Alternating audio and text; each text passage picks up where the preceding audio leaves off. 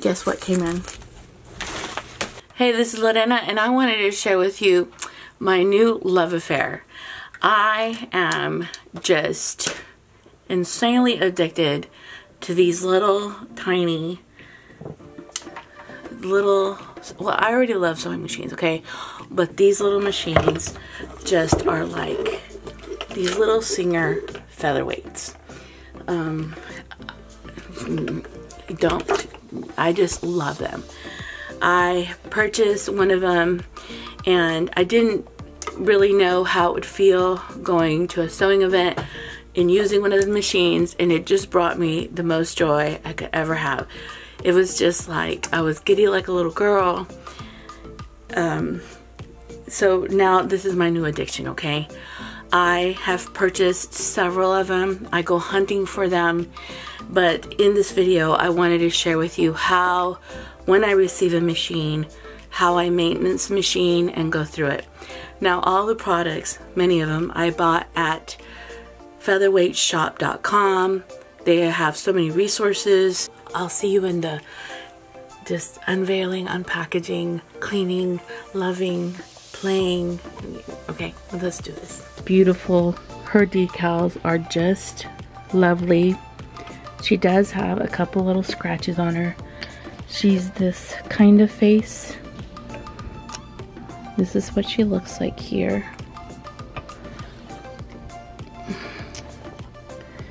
I'm going to go through her whole and look at what I need to do to fix her. Because sometimes they'll clean them and they really don't clean them that good. But if I go through her, we know she's beautiful. She came with her original screwdriver, it looks like it. Um, some really neat feet. And honestly, this stove smells atrocious. Um, she came with tons of bobbins. She does have her bobbin case in there. Um, needles and with her bucks. Oh, because, oh, oh they smell bad. Oh. oh my god, they smell atrocious. So this is what she came with. Um, clean these bobbins because Oh, they have a smell to them. One of the things you're going to do is you're going to take everything you can apart so that you can go ahead and kind of wash it. I'm washing it with water and just Dawn soap so that it could soak and so that any grime or leftover oldness goes away. so here's my soap and water. It's just Dawn detergent. I'm going to put all the feet, bobbins, everything in here. I also have in here is a little brush. You could use a toothbrush, but damn, this stuff smells in here. I'm also gonna take this out, the bobbin, and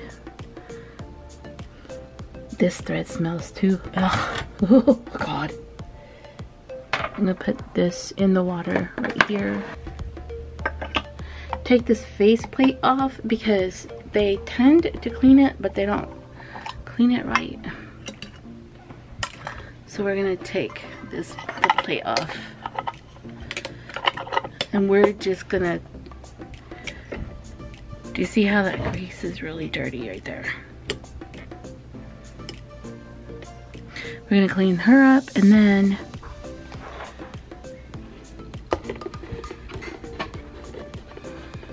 She has pretty good feet.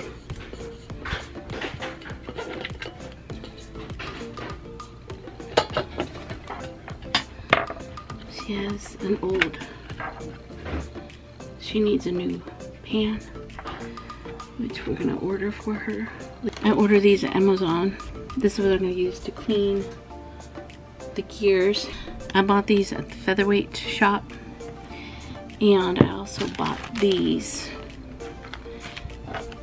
but we're gonna clean her and then we're gonna grease her. The feet look real good. This is kind of, gonna have to push it away from the gear because it's grabbing the gear right there. I'm gonna turn.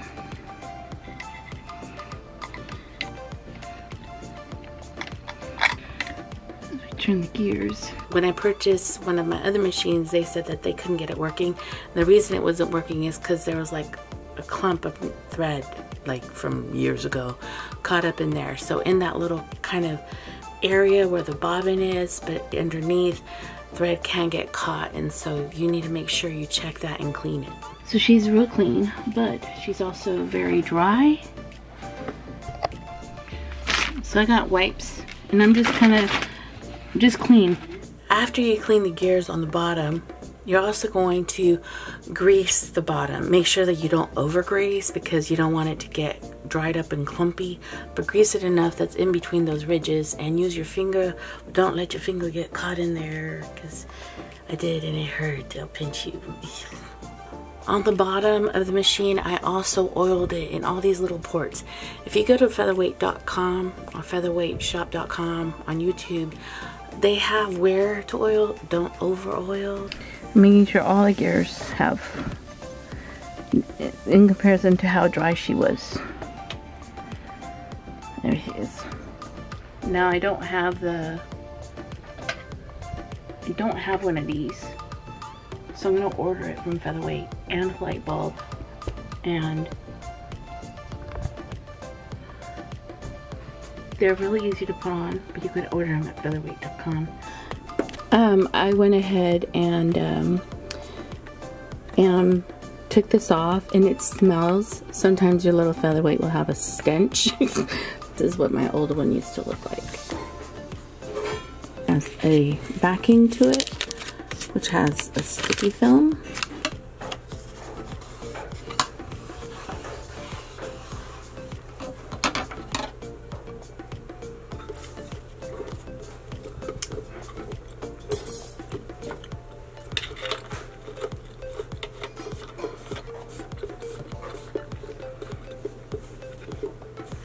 I also did the same thing on the gears on the very top where the thread kind of sits. You're going to go ahead and use those Q-tips and clean that area off. Also, I use the bigger Q-tips to get the wall of the machine. So if at one time grease and buildup got caught up on the sides on the frame of the machine, I got that Q-tip and went in there and cleaned it real good. And then I also got that grease again and greased this area. I also put like a little droplet on one of the ear areas because you want, I don't know if it's a bearing, you want to make sure that it has oil also.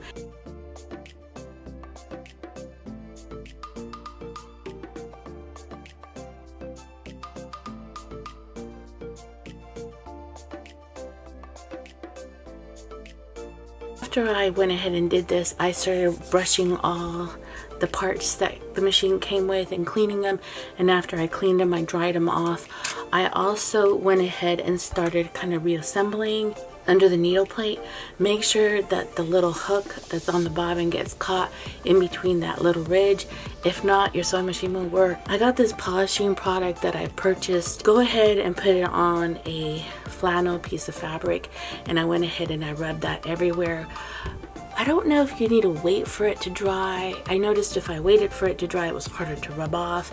So when it's kind of getting a little bit dry, rub it off and go in circular motions back and forth. And this is how I clean the whole machine.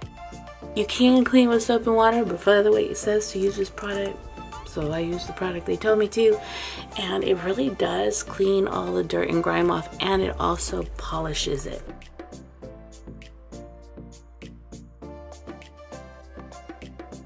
Do sections and then rub it off as you go. And I went ahead and got this wax stuff.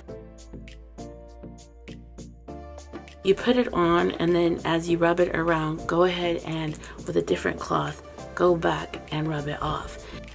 One of the things I learned that is if you push this in and then push, then you can pop the light out.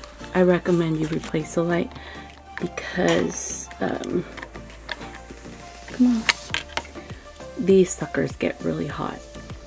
It's a brighter light and it's uh, called uh, daylight light, so it's being out in the sunlight and it doesn't get hot in comparison to this one